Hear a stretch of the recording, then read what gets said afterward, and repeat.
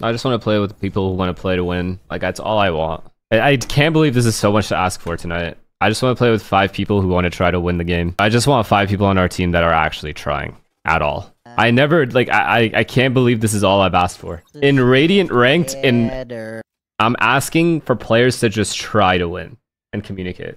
I don't get it. Like I know I cry about this all the fucking time, but I don't get it. How do you get online to play a competitive game and not put in any sort of effort to try to win the game? I, I've never understood these people. You're just wasting your own time. You could literally be sleeping. You would have more impact just being like you, if you were dead IRL. Like if you were just dead IRL, you'd be having more impact. That's the same amount of impact you're having. They do it to piss others off. It's just a waste of time, though. No, say in GTA. No, I'm saying if somebody was just not alive IRL, that is the same exact amount of impact as going into a ranked game and literally not even trying to win the game. You're just sitting there, like you're just a waste of space at that point. You're just there, just dead. Just a 4v5. Like try, at least attempt to win. It's so boring.